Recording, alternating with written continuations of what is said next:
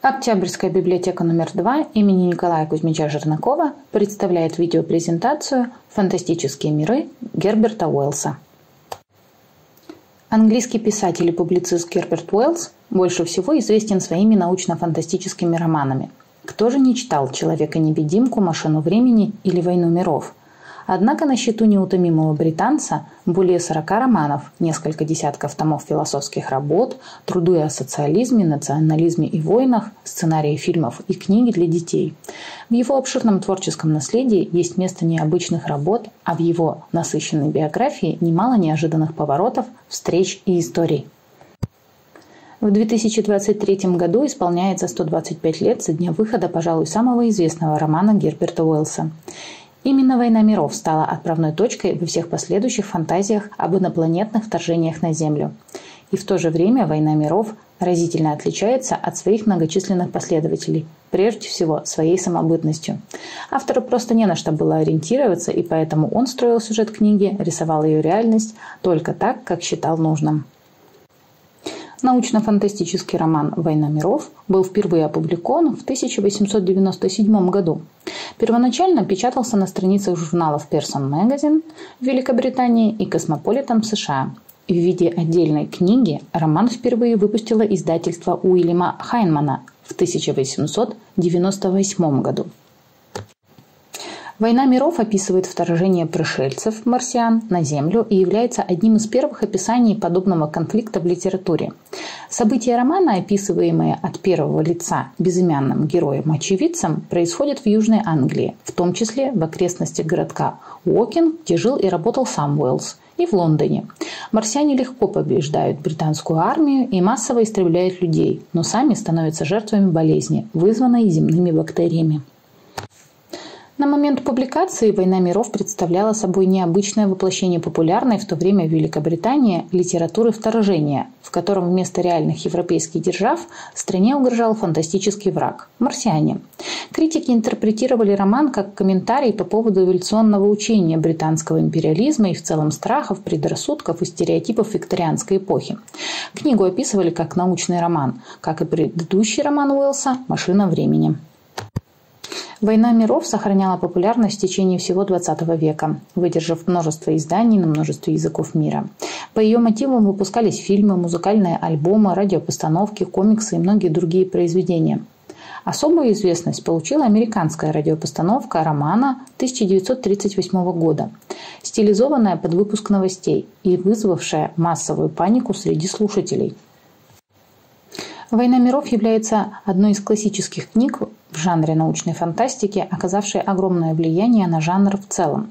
Описание фантастических технологий в романе, предвосхищавшее развитие военной и космической техники в XX веке, повлияли и на развитие реальной науки.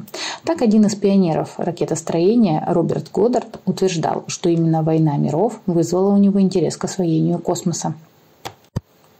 Если говорить об истории создания, то «Война миров» – четвертый роман Герберта Уэллса и относится к его ранним произведениям.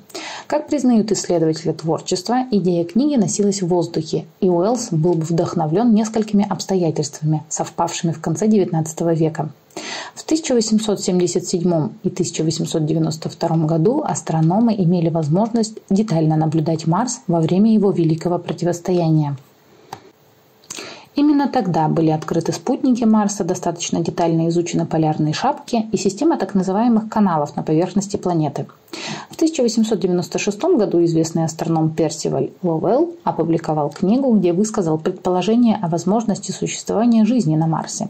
В 1894 году французский астроном Жавель наблюдал некую вспышку на поверхности Марса, что прямо отражено в книге. Исследования астрономов произвели большое впечатление на Уэллса и серьезно повлияли на сюжет будущей книги. Впоследствии Уэллс продолжал интересоваться темой Красной планеты и в 1908 году даже опубликовал статью «Существа, которые живут на Марсе».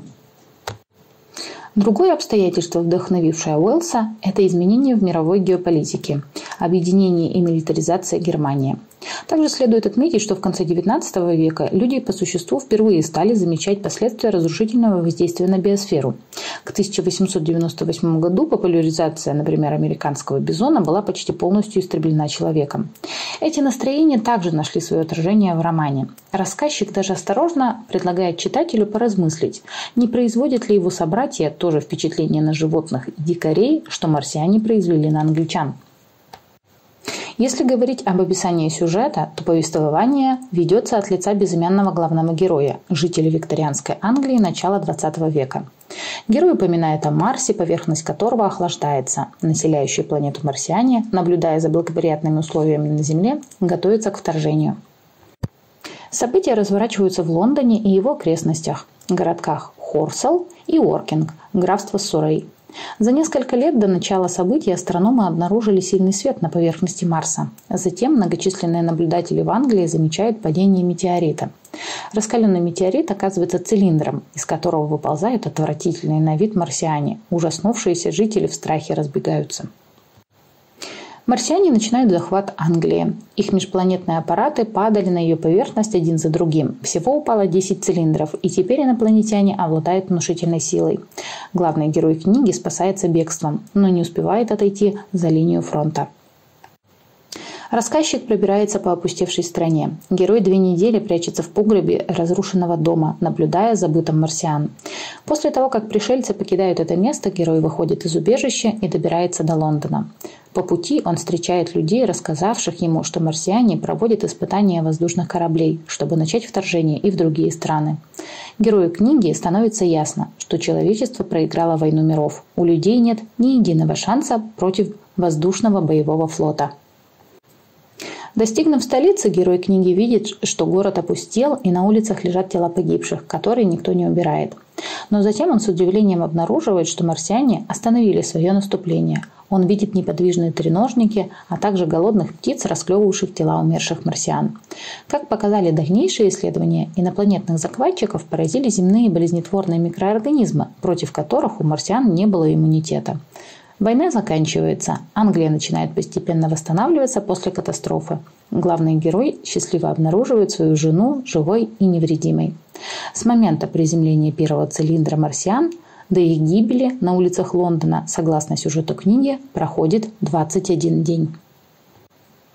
Книга Уэллса считается первой, где была открыта тема вторжения враждебных пришельцев с другой планеты, которая стала чрезвычайно популярна в мировой научной фантастике XX века.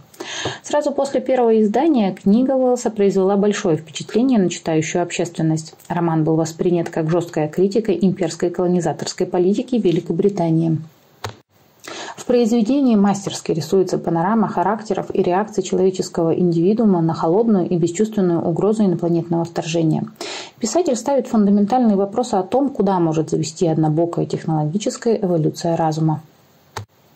Безусловно, книга оказала огромное влияние на мировую науку, культуру, литературу. Первое вольное продолжение «Войны миров» вышло в США уже в 1898 году. Это был роман Гаррета Патнама Сервиса «Эдиновское завоевание Марса». Лазарь Лагин написал альтернативный взгляд на войну миров – повесть «Майор Уэлл Эндио», в котором главный герой – предатель, перешедший на сторону марсиан. Многие писатели-фантасты и критики признавали значительное влияние Уэллса и его «Войны миров» на их творчество. Борис Стругацкий писал о том, что роман Уэллса оказал сильнейшее прямое либо косвенное влияние на мировую фантастику XX века вообще и на отечественную фантастику в особенности. Так, повесть Стругацких «Второе нашествие марсиан» своего рода современное переосмысление сюжета Уэллса, в котором конформизм землян, не желающих замечать захват планеты марсианами, доведен до абсурда – Критики Роберта Хайнлайна признавали, что классик американской фантастики был воспитан на произведениях Уэллса и «Войне миров» в частности. Это влияние особенно заметно в романе Хайнлайна «Чужак в чужой стране». Роман Уэллса неоднократно переиздавался. Первое переиздание было уже в 1898 году. Переведен на множество языков Земли, стал основой многих фильмов, спектаклей, комиксов, сериалов и компьютерных игр. Британский писатель-фантаст Кристофер Прист в 1976 году написал роман «Машина пространства», являющийся фанфиком-сиквелом сразу двух романов Уэллса «Войны миров» и «Машина времени». Главный герой и его подруга ассистент создателя машины времени с помощью усовершенствованного варианта машины, способной преодолевать и пространство, попадают на Марс, где вступает в контакт с человекоподобной расой, порабощенной головоногими марсианами. Принимает участие в марсианских войнах и готовящейся революции, потом им удается проникнуть в один из снарядов и вернуться на Землю. Английский писатель Джон Кристофер в 1967-68 годах написал три рассказа «Белые горы», «Город золота» и «Свинца», «Огненный бассейн». А в 1988 году роман «Приквел. Когда пришли триподы», описывающий порабощение землян пришельцами и последующую борьбу с ними. Внешний облик марсиан послужил прототипом для инопланетянина Кренга, антагониста франшизы «Черепашки-ниндзя», а также «Жука мозга» из кинофильма Пола Верхомина «Звездный десант». Несмотря на срок давности, роман Уэллса оставался актуальным долгие годы, раз за разом находя новые интерпретации.